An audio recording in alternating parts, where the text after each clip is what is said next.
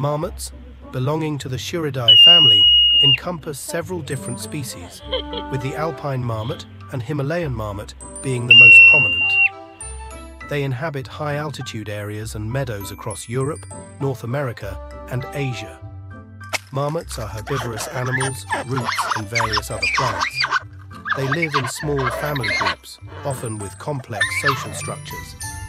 Marmots undergo prolonged periods of hibernation throughout the winter, which helps them conserve energy and avoid harsh weather conditions. When spring arrives, marmots awaken and begin searching for food and expanding their territories. They communicate through loud and distinct calls, used for warning of danger or communicating with other members of the group.